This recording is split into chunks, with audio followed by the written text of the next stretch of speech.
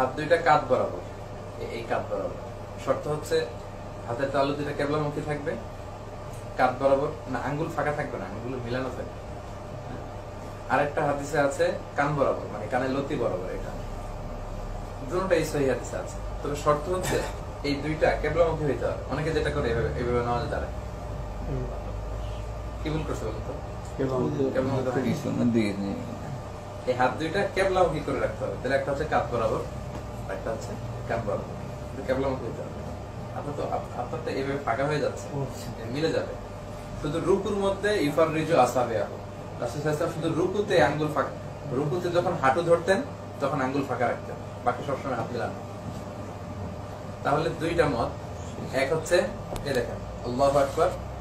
কেবলামুখী হলো আরেকটা হচ্ছে আমাদের বাংলাদেশে এটা এটা শেখানো হয়।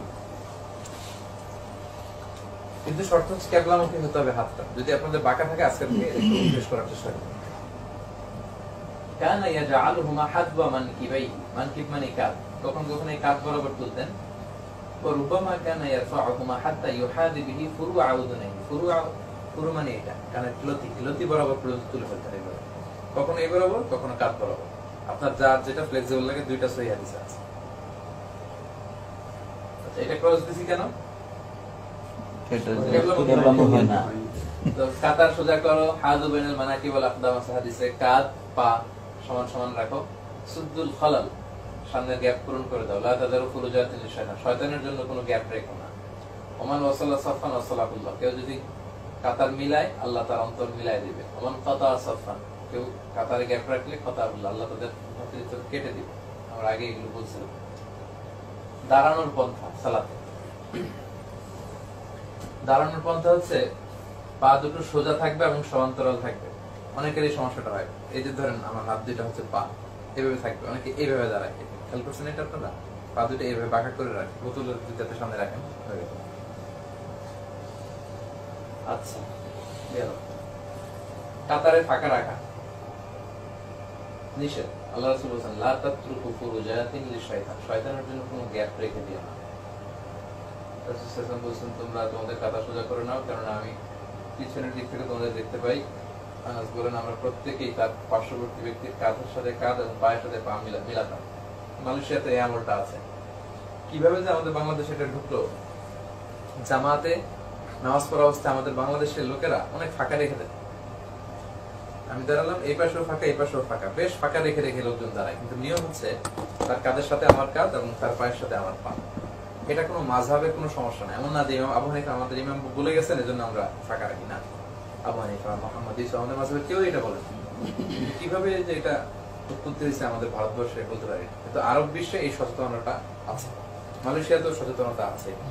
অপেক্ষাকৃত এক দুজন হচ্ছে একটু অসচেতন, বাকিরা কিন্তু দেখবেন যে আপনি একটু দূরে নিয়ে গেলে সেও পাটা একটু মিলায় হাদিসে আছে যে তোমরা কাতার ফাঁকা রাখো, তোমাদের মধ্যে আল্লাহ ফাঁকা তৈরি করে দিবে মানে অন্তরের ভাতৃত্ব হ্যাঁ? বন্ধুত্ব এটা কমাই দিবে। আর যদি কাতারের মধ্যে পায়ে পায়ে মিলে দাঁড়াও তোমাদের মধ্যে মিল মহব্বতটা এটা আল্লাহ বাড়ায় এটা খুব জরুরি। মানে জানা না থাকার কারণে অনেক সময় ধরেন আমি পা মিলালাম সে মনে করল যে আমি বেয়াদবি করলাম তখন আবার পাশে রাখল এটা একটা মুসিবত। এই জন্য তো সচেতনতা বৃদ্ধি খুব দরকার। সালাতের বিষয়গুলো মানে হাদিস থেকে আমাদের জানা দরকার। এখানে একটা প্রতীকী ছবি আমি এনেছি যে এই যে দেখেন এখানে তারা কি সুন্দর হাতের সাথে হাত পায়ের সাথে পা মিলে সীসা ঢালা প্রাচীরের মতো দাঁড়াইছে। মানে যিনি ইমাম, আমাদের নেতারা, আল্লাহ রাসূল, ওনাকে কেউ অ্যাটাক করতে গেলে এই সব সাহাবীদেরকে মেরে যেতে যেতে এক ঘণ্টা লাগবে একেবারে সীসা ঢালা প্রাচীর। আর এইখানে দেখেন, প্রতীকী অর্থ যে শয়তান চাচ্ছে যে এই দুজনের মধ্যে একটু ইয়ে করে দিই ফাঁকা করে দিই তাদের মনে হয়তো একটু অমিল হয়ে যাবে। মানে বোঝা যাচ্ছে এরা খুব বন্ধু না? আর এদের মধ্যে হয়তো কিছু একটা আছে। ঝগড়াঝাটি মনোমালিন্য এটা আর কি? এজন্য যতটুকু গ্যাপ পূর্ণ করে দাঁড়ানো যায় ফাঁকা যতটুকু কম রাখা যায় ফাঁকা রাখা ঠিক না। একা একা পড়লে চাপতে আমার চাপতে বুকের উপর হাত বাঁধা হাত কই বাঁধবেন? হাত বাঁধার বিষয়ে তিনটা মত। কোমর এক হচ্ছে বুকের উপরে একটা নাভির উপরে আর একটা নাভি সংলগ্ন নিচে। তিনটাই হাদিসে আছে। হ্যাঁ, তিনটা হাদিসে আছে তবে আমরা সাজেস্ট করি উপরের উপরের দিকে বাঁধার ব্যাপারে। এটা অপেক্ষাকৃত বেশি প্রামাণ্য দলিল দিয়ে প্রমাণিত। আলা ইউসরা। ডান হাতটা বাম হাতের উপর রাখতেন এবং হাত দিয়ে চেপে ওনার এই মানে বাহু এবং এটাকে চেপে ধরতেন এভাবে যদি উপরে ধরতে চান তাহলে এই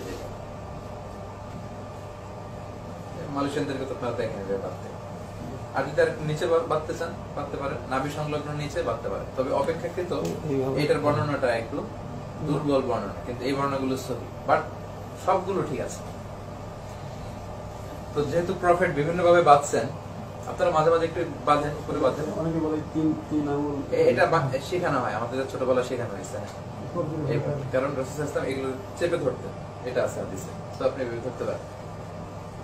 সহজ কথা স্যার আপনার এই ইয়ে থেকে নাভি পর্যন্ত পুরোটাই হচ্ছে হাত বাঁধার জায়গা। বুক থেকে নাভি পর্যন্ত। ফ্লেক্সিবিলিটি আছে আমরা নর্মালি যেটা জানি মেয়েরা বুকে হাত বাঁধলে ছেলেরা কোমরে বাঁধবে হ্যাঁ, এটা জানেন হচ্ছে কারণ হানাফি স্কুল অফ থটে বুকে হাত বাঁধার এটা মেয়েদের জন্য তারা গ্রহণ করছে আর আমাদেরটা নিচে। ঠিক আছে আপনি ভালোই জানেন। কোনো সমস্যা এটা- এটা এটা হতে পারে। তবে আমি সাজেস্ট করব যে আপনি যদি আল্লাহ রাসূল থেকে প্রমাণিত একাধিক আমল জানেন তাহলে আপনার যে সবসময় সবসময়ের অভ্যাস এটা তো করবেনই। মাঝে মাঝে একটু ওই আমলগুলো করবেন। তাতে করে হলো কি আল্লাহ রাসূলের সবগুলো হাদিস আমল করার সুযোগ আপনি পেলেন। এটা। যেমন রফাউল ইয়াদাইন করা। আমরা হানাফি স্কুল অফ থটে আমরা কিন্তু রফুল ইয়াদাইন করি না। মানে রুকুতে যাওয়ার আগে অন্যান্য আল্লাহ আকবর বলে রুকুতে যায় তাই না। রুকু থেকে উঠে আল্লাহ আকবর বলে। আবার দুই রাকাত শেষ করে তৃতীয় রাকাতের জন্য যখন দাঁড়ায় তখন আবার আল্লাহ আকবর বলে রফুল ইয়াদাইন করে। রফুল ইয়াদাইনের প্রত্যেকটা তাকবির দশটা করে সওয়াব আছে